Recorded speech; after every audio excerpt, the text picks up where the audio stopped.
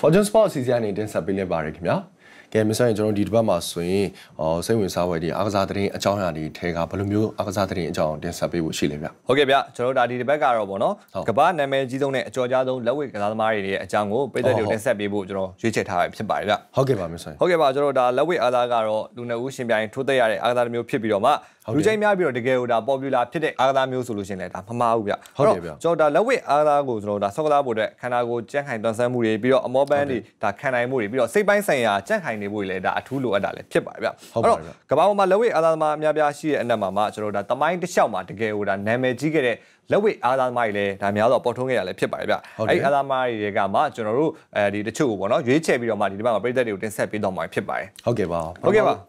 အဲ့တော့ကျွန်တော်တို့ဒါပထမဆုံးတစ်ယောက်ကတော့ကျွန်တော်တို့ဒါဂျိုးလူးဝစ်ပေါ့နော်ဂျိုးလူးဝစ်ကတော့ကျွန်တော်1934ခုနှစ်နဲ့1950ခုနှစ်ကြားမှာရှင်ပြိုင်စော့ကစားခဲ့တဲ့တကယ်ကိုနာမည်ကျော်လက်ဝိသားမတယောက်လည်းဖြစ်ပါတယ်ဗျဟုတ်ကဲ့ပါဒီသားမကတော့ကျွန်တော်တို့အနေနဲ့ဒါလိုက်ပြီးတော့မမီနိုင်တဲ့ခုနှစ်မှာရှင်ပြိုင်ကစားခဲ့တဲ့ဆိုပေမဲ့လည်းသူ့ရဲ့နာမည်ကတော့တကယ်ကိုဒါနာမည်ကြီးတဲ့ကစားသမားတယောက်လည်းဖြစ်ပါတယ်ပြီးတော့ကျွန်တော်တို့ဒါဒုတိယကမ္ဘာစစ်လောက်မှာတဲ့သူကစတင်ပြီးတော့မှ အဲရှင်ပြိုင်ထိုးသက်ခဲ့ပြီးတော့မှဒီတော်ရင်းမှာလည်းအောင်မြင်မှုတွေများစွာရရှိခဲ့တဲ့ကစားသမားတယောက်လည်းဖြစ်ပါတယ်ဗျသူကတော့ပွဲပေါင်း60ကျောက်ပွဲရှင်ပြိုင်ကစားတဲ့အခါမှာ3ပွဲရှုံး52ပွဲအနိုင်ရပြီးတော့မှဒါ17ပွဲတည်ကြခဲ့တာလည်းဖြစ်ပါတယ်ဗျအဲ့တော့ကျွန်တော်တို့ကအဲတကယ်ကို66ပွဲမှာ3ပွဲပဲရှုံးထားတဲ့စံချိန်ရှိနေတဲ့ကစားသမားဖြစ်တဲ့အတွက်မို့လို့အဲ့ဒီခေတ်အဲ့ဒီခါမှာတော့တကယ်ကိုမှတ်တမ်းကောင်းတွေပိုင်ဆိုင်တဲ့လက်ဝဲသမားတယောက်လို့တော့ကျွန်တော်ပြောလို့ရမှာဖြစ်ပါတယ်ဟုတ်ပါတယ်မင်းဆိုနောက်ထပ်တယောက်ကကျတော့မိုဟာမက်အလီပဲဖြစ်ပါတယ်ခင်ဗျသူကကျတော့အမေရိကန်အာ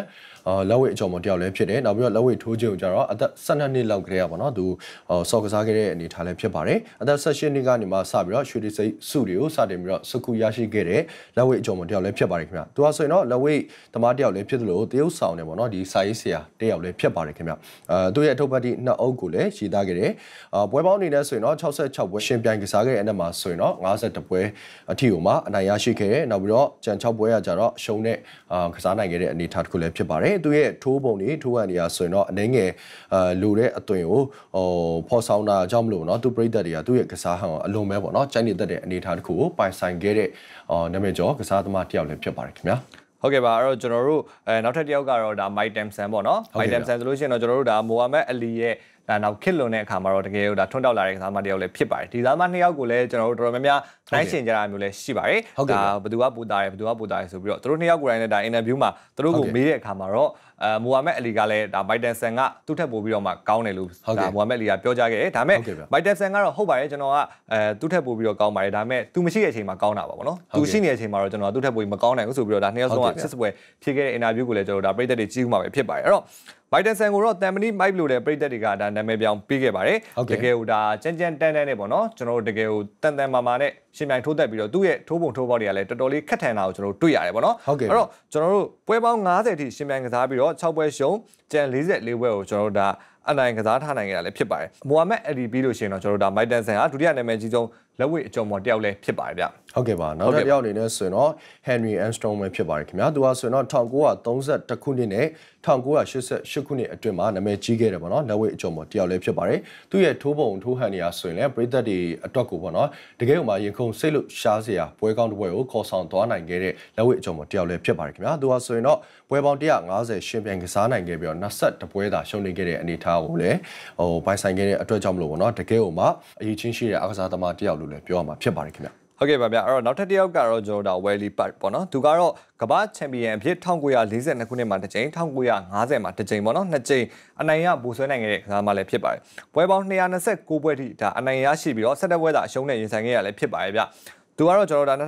ဒါ2005ခုနှစ်တုန်းက feather weight တန်းမှာကျွန်တော်ဒါနံပါတ်1လက်ဝဲသမားဖြစ်ကိုလည်းဒါသတ်မှတ်ထားခြင်းခံရတာဖြစ်ပါတယ်ဗျကျွန်တော်တို့ဒါ17ပွဲရှုံးခဲ့တယ်ဆိုပေမဲ့လည်းသူကစားခဲ့တဲ့ပွဲကတော့ဒါ229ပွဲတွေရှိခဲ့တာတော့ကျွန်တော်တို့မေ့ထားလို့ရမှာမဟုတ်ဘူးပဲဖြစ်ပါတယ် ဟုတ်ကဲ့ပါနောက်ဆုံးတစ်ယောက်ကကျတော့ Jet Dancy ပဲဖြစ်ပါတယ်ခင်ဗျာသူကဆိုရင်တော့ကမ္ဘာချန်ပီယံအဖြစ်နဲ့1942ခုနှစ်မှာဆိုရင်တော့တစ်ချိန်1950မှာဆိုရင်တစ်ချိန်ပေါ့နော်နှစ်ချိန်အနိုင်ရဘူဆွဲခဲ့တာလည်းဖြစ်ပါတယ်ပွဲပေါင်းအနေနဲ့ကျွန်တော်ပြောရမယ်ဆိုရင်တော့229ပွဲအနိုင်ရရှိပြီးတော့17ပွဲကိုသာအရှုံးနဲ့ရင်ဆိုင်ခဲ့ရတာလည်းဖြစ်ပါတယ်ခင်ဗျသူဟာဆိုရင်တော့2005ခုနှစ်တုန်းက featherweight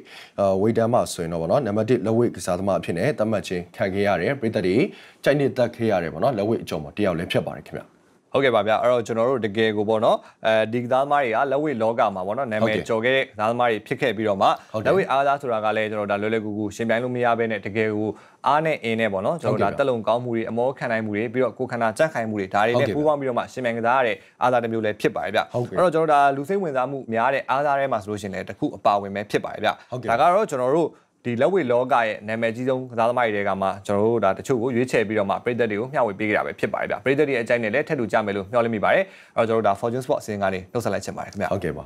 Fortune Sport အစီအစဉ်ကိုကြည့်ရှုအားပေးနေကြတဲ့ပရိသတ်များခင်ဗျာကျွန်တော်တို့ဒီဘက်မှာဆိုရင်တော့ပရိသတ်တွေအတွက်ပေါ့နော်ကျွန်တော်တို့လက်ဝဲအားစားနဲ့ပတ်သက်ပြီးတော့အာလက်ဝဲလောကမှာဘယ်နှခုနှစ်တုန်းကဘယ်လိုမျိုးကြော်ကြားခဲ့တဲ့အာလက်ဝဲအကြောင်းမော်တွေလဲဆိုတာကျွန်တော်တို့ပြောပြပေးခဲ့တဲ့အတွက်ကြောင့်ပရိသတ်တွေလည်းဘူးတူတာလည်းရရှိမယ်ကျန်နေတတ်မယ်လို့လည်းယုံကြည်ပါတယ်ခင်ဗျာနောက်ထပ် Fortune Sport အစီအစဉ်ကနေမှလည်းကျွန်တော်တို့စိတ်ဝင်စားဖို့ရအားကစားသတင်းအကြောင်းအရာတွေကိုတင်ဆက်ပေးသွားမှာဖြစ်တဲ့အတွက်ကြောင့်မလို့ဆက်လက်ပြီးတော့လည်းကြည့်ရှုအားပေးကြဖို့အတွက်ဖိတ်ခေါ်ရင်းနဲ့ပဲနှုတ်ဆက်လိုက်ချင်ပါတယ်ခင်ဗျာကျေးဇူးအများကြီးတင်ပါတယ်ခင်ဗျာ